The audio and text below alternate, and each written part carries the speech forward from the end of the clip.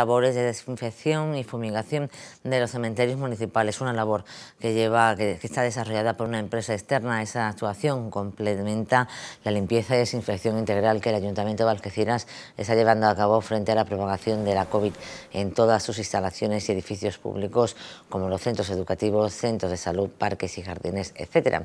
El concejal delegado de cementerios, Ángel Martínez, ha recordado a la ciudadanía que con motivo de la fumigación en ambos cementerios de la ciudad no podrán hacerse incineraciones ni estar disponibles las salas de velatorio a lo largo del día de hoy. Martínez ha agradecido la colaboración de todas las familias afectadas y ha pedido disculpas por las molestias ocasionadas.